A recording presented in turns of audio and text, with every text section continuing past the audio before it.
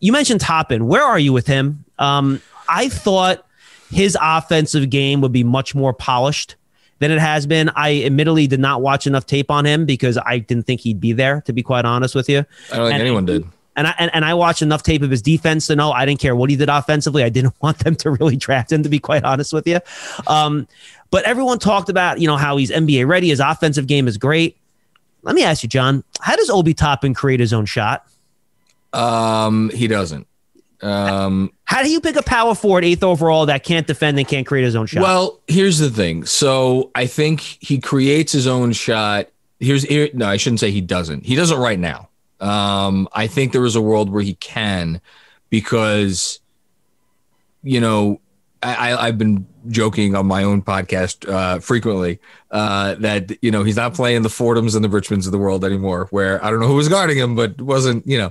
But you know, he, Dayton had some some games against more legitimate competition, and so he wasn't going against you know these these puny guys who were going to be bagging groceries um, after college um, all the time.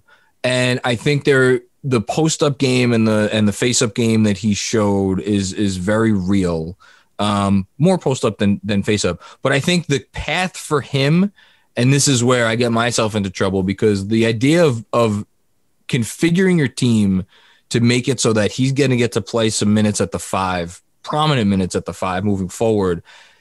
Like if you people may not like that, but I think that's the path, right? John, I'm with you. That's exactly what I was going to say. I think if he's your five man to roll and pick and pop with four other shooters around him, and he's that space player, he can catch it and pass off the pick and roll or catch and shoot or catch and dunk.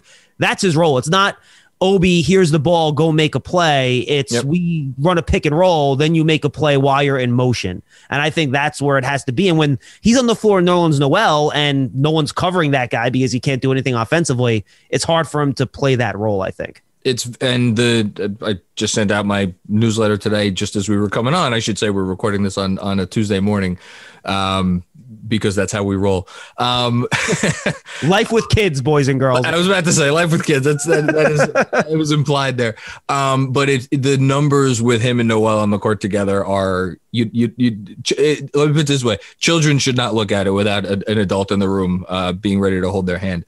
Um, Is it that bad? Wow. it's like 90 points per 100 possessions scored it's it's it's ghastly um but but again that makes sense right? Um because there's there's not like there's some other shot creator there that's helping those lineups out. I mean the shot creator in those lineups is the rookie you just picked 25th that's it right?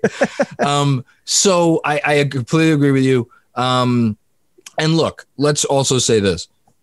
The Stoudemire comparisons were there, you know, um, coming into the draft. That dude made all NBA teams just feed, like getting fed Yeah. by Steve Nash, right? Mm-hmm. And using his otherworldly athletic ability to convert those. And we've seen Toppin do that a few times. So I think if you're looking for a bright spot on Toppin, you say, okay, he could pass better than I thought. He hasn't been a train wreck on defense. And we've already seen the ability to finish those plays when he gets the opportunity to finish them.